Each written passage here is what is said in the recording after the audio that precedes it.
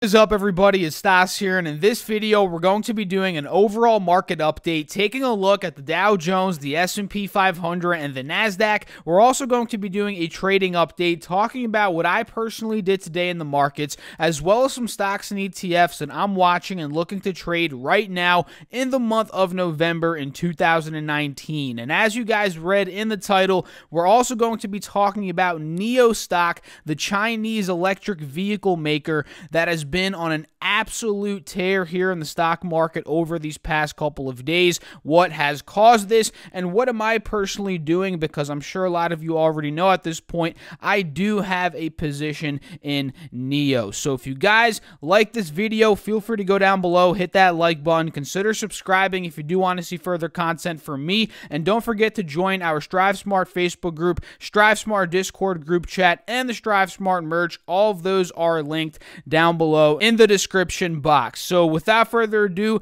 let's get right into it, guys. Starting off here with the SPX, the S&P 500, the 500 largest publicly traded U.S. companies. We can see right now, and I am recording this video a bit early um, with about 32 minutes left in the market, but right now, the S&P is not really doing much. It's down about 86 cents here, um, down about 0.03%, and if we go to the one-day, one-minute chart to see what's been going on today, you can see it's kind of been choppy, right? You know, we opened up at about 3078. We popped up. We kind of got rejected by that old all time high from yesterday. We almost hit another all time high, right? Um, you know, if we were to uh, go above 3085, but we ultimately ended up dumping from there all the way down to about 3072. And again, from there, we were kind of choppy up and down, up and down um, for the rest of the day. And ultimately, we're just sitting where we pretty much opened up at, which is why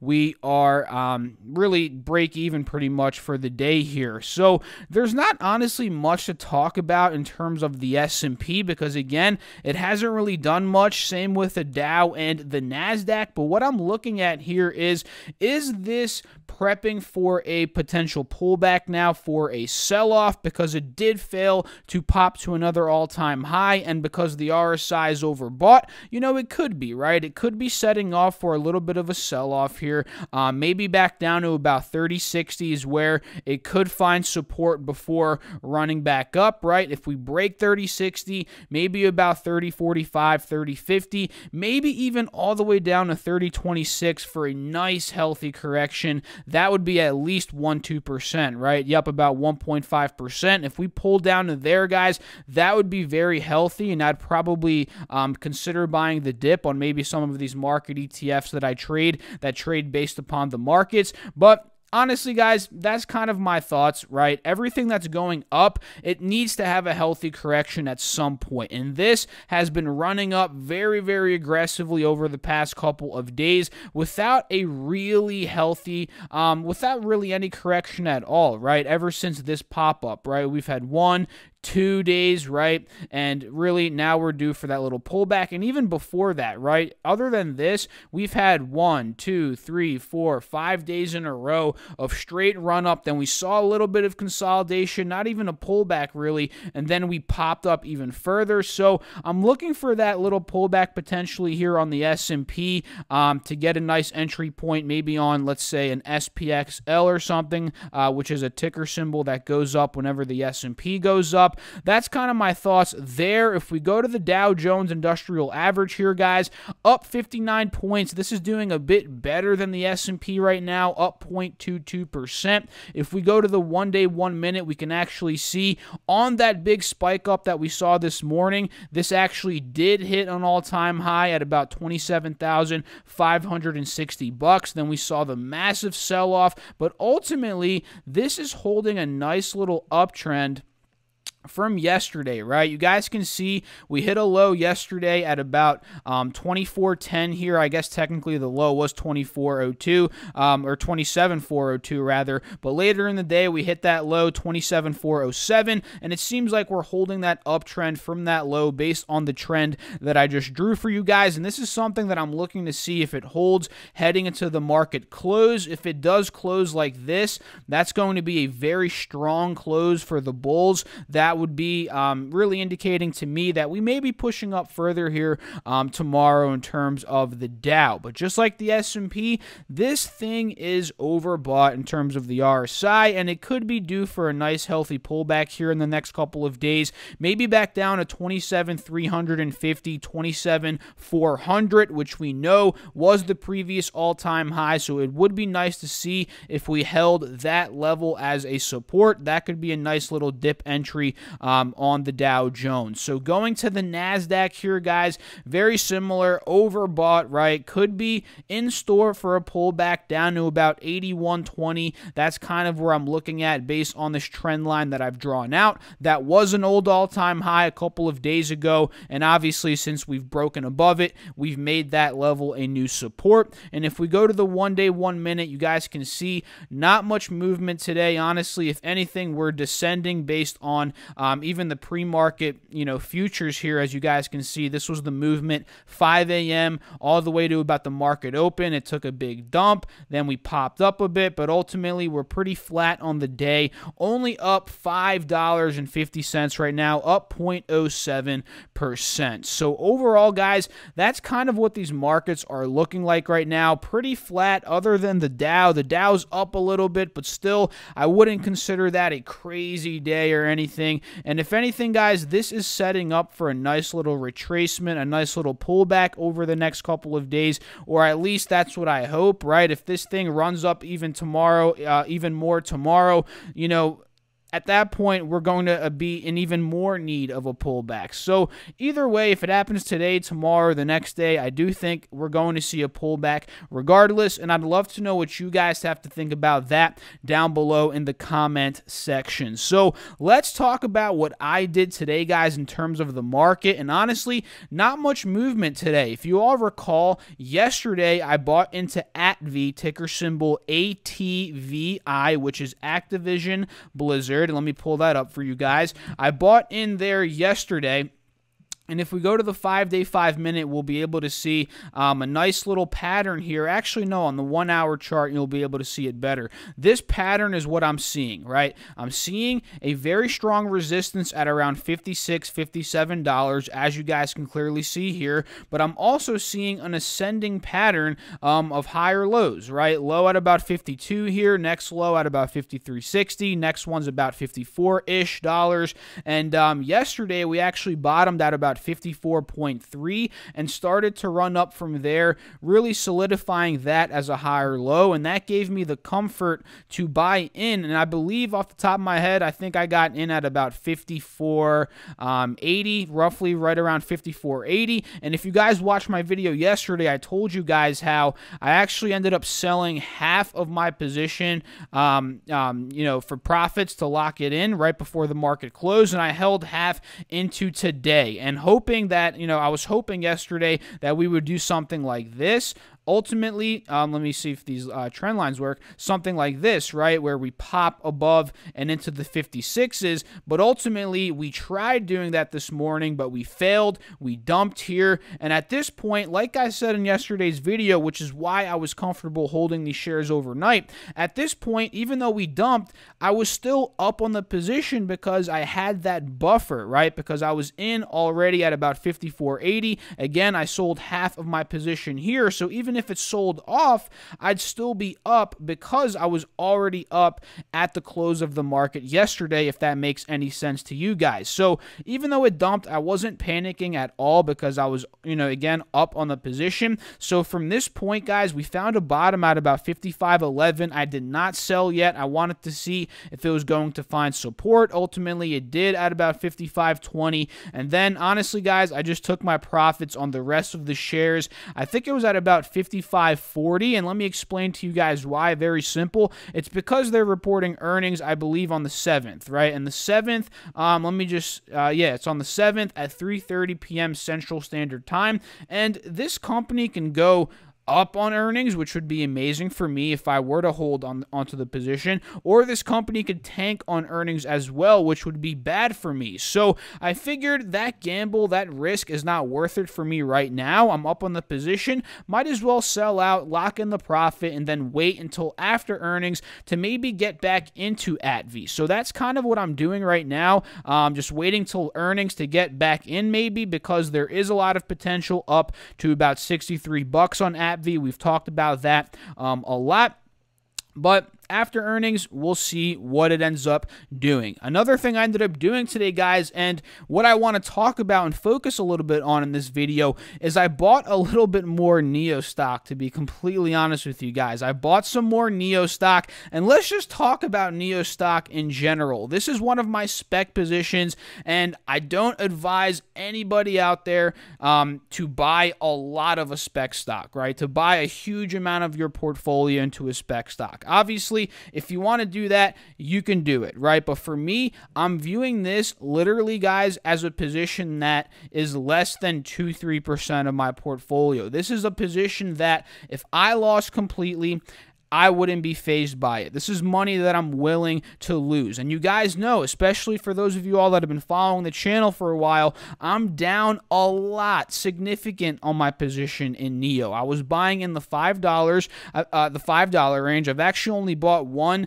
um, time, one time at about 550. I put like five, 600 bucks into it, and I've been riding it out since, down about 60, 70%. But today and yesterday, honestly, we got some good news about NIO, causing the stock to spike. And you guys can see it's moving as we speak right now, heading into the close, which is a very, very bullish move here. We plateaued at 220 for the uh, majority of the day after that initial run up. And now that we're kind of leveling up, we're pushing up even further. That's extremely, extremely bullish. So, what caused this? Well, we got news yesterday that NIO did extremely well in terms of its October delivery numbers. And I'm pulling up some stuff here on my phone to read to you guys. And here we go.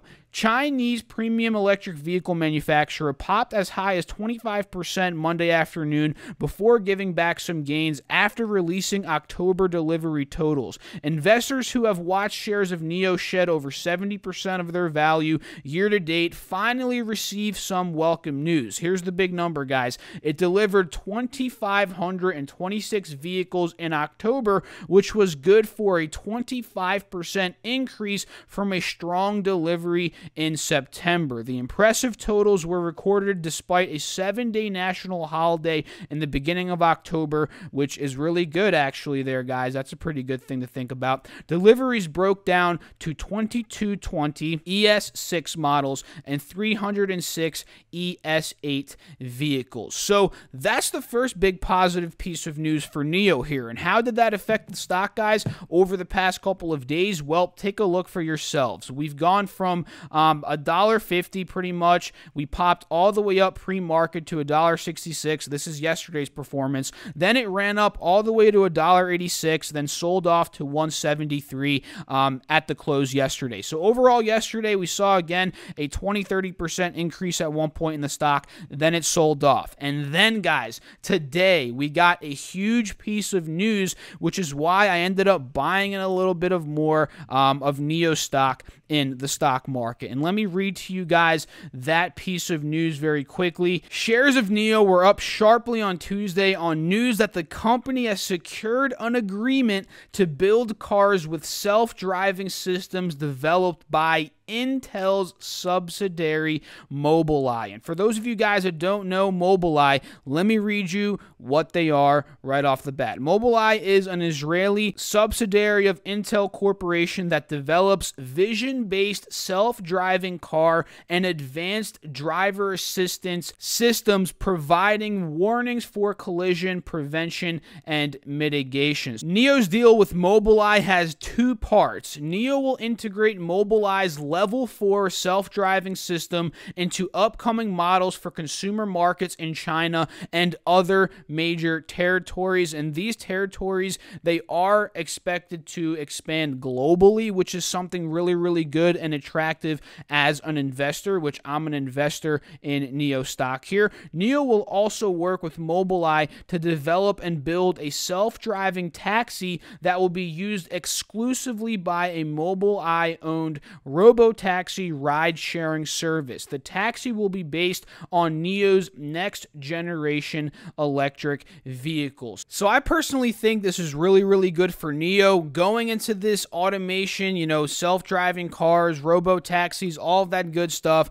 partnering with a very big company like Intel, its subsidiary Mobileye because quite frankly guys, this stock has been getting badder. There's been a lot of bad news about it and the stock price really reflects that, right? From 1060, it saw that you know that's the price a couple of months ago. It's gone down to a dollar 16. It's been burning through cash like crazy during this period. A lot of people were thinking that you honestly NIO was going to go bankrupt after quarter two last quarter. They a lot of people were saying they only have a couple of weeks left before they run out of cash. So the fact that the, you know they're beating on deliveries, you know they have this good news going for them getting into this deal with Mobileye. This made me comfortable to put a little bit more money into NIO. put a little bit more, bring the cost basis down from the mid fives to the mid threes. But let me say say this, guys, I'm not looking to add any more money to NIO as of now. This is a built out position